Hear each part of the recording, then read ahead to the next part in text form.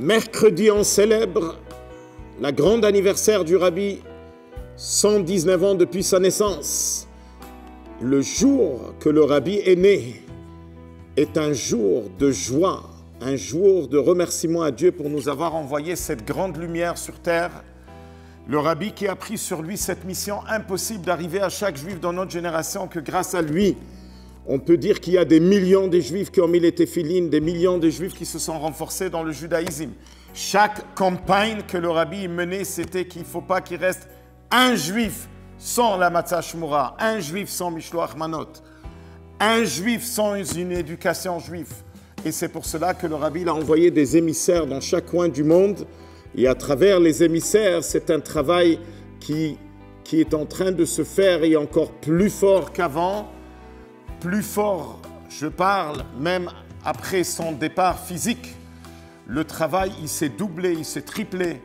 Et donc, cette journée de 11 Nissan est un jour de bénédiction, un jour de bonheur.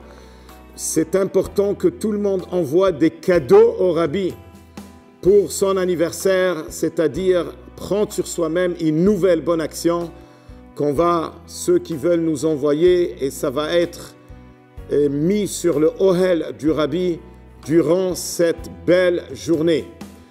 Personnellement, j'ai une histoire qui est arrivée en 1983. Je suis venu du Maroc et j'ai amené une lettre de sept enfants qui ont fait un cadeau au Rabbi. Un, il a pris sur lui de faire attention à la cache-route. L'autre, il a pris sur lui de faire attention à Netilat Yadayim avant le manger. L'autre a pris sur lui de faire attention au Shabbat.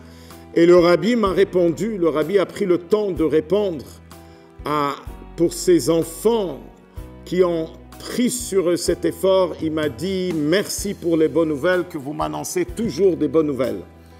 Alors profitez de cette grande et belle journée de Yud Aleph Nissan où on change le Mizmor et on commence le nouveau Mizmor 120.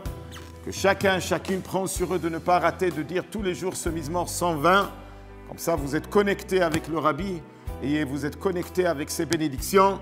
Et bien, Hashem, la vision du rabbi, que le rabbi voyait, que nous sommes la dernière génération de l'exil et la première de la délivrance, elle va se réaliser et on va voir avec nos propres yeux comme la première fois que les Juifs sont rentrés en Israël, c'était le 11 Nissan.